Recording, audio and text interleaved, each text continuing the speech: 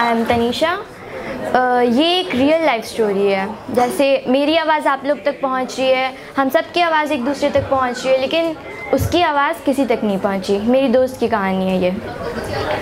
ना यार पर, ना प्यार पर। ये एक अलग कहानी है। किसी शहर की, किसी गली की बात ये महीनों पुरानी है। यूँ ही एक रात सफ़र के बाद मैं लौट कर घर को जाने लगी।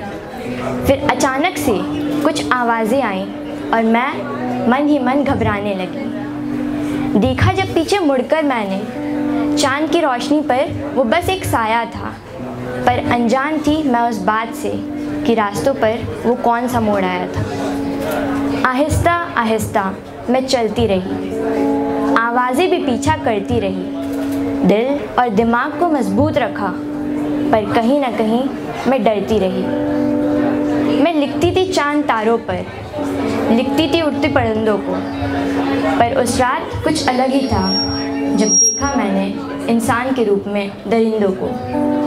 कुछ सोच न पाई, कुछ समझ न पाई, उन नन्हे पैरों से बस भागने लगी, जो अखबारों में पढ़ा करती थी, उन खबरों में खुद को झांकने लगी।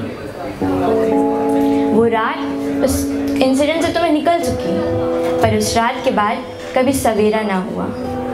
क्या दोष देती मैं समाज को, जब मेरा खुद का परिवार भी मेरा ना हुआ? इज़्ज़त का कारोबार करने वालों, इसे धंधा ना समझना। बहुत दुखी है ये दुनिया इन आँखों को अंधा ना समझना। जो नज़रें नहीं मिलाती, मुझे शर्मिंदा ना समझना। जो बंद रहते हैं पिंजड़ों पिंजड़ों में, मुझे वो परिंदा ना समझना। Thank you